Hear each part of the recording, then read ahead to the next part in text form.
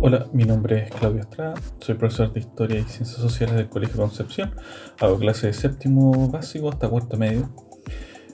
Bueno, les quería contar un poco la reflexión que hemos he realizado como profesor, eh, bueno, y también a partir de las circunstancias que hemos vivido, en la cual eh, está claro que este último año hemos enfrentado quizás las condiciones o los más grandes desafíos en, en casi un siglo ya para nadie es extraño, ¿cierto?, entender que eh, el estallido social y la, bueno, y la pandemia, el propio COVID-19, nos ha desafiado nuestra labor docente, donde eh, la forma de hacer clases se ha visto eh, completamente trastocada, ¿ya?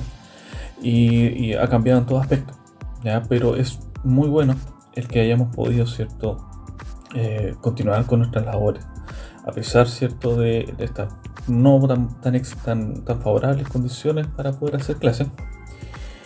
Y esto eh, tiene cumplir un rol, no solamente para mí, eh, no solamente eh, para alguien externo, sino que más a usted, porque en realidad la labor es de enseñarles, ¿cierto? y es para poder responder a grandes preguntas que ustedes se van a tener que hacer en algún momento, es, qué es lo que quiere hacer usted con su futuro y cómo quieren vivir. Ya, como profesores nos acostumbramos a siempre responder las, preguntas.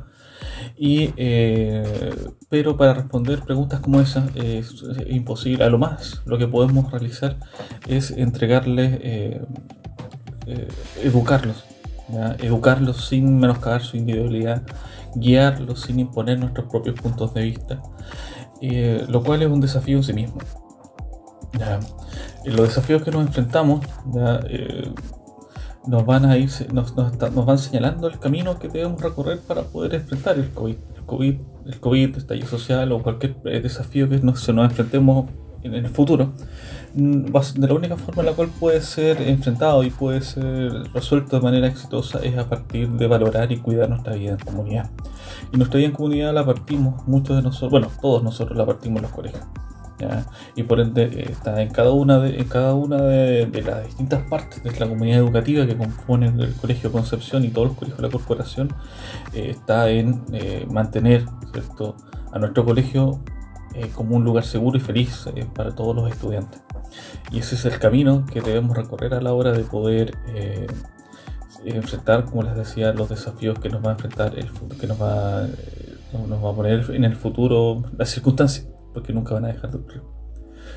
Un gusto cierto haberlos saludado y espero que eh, podamos cierto seguir adelante con estos grandes, estos grandes, estas grandes metas que nos hemos puesto para poder este 2020.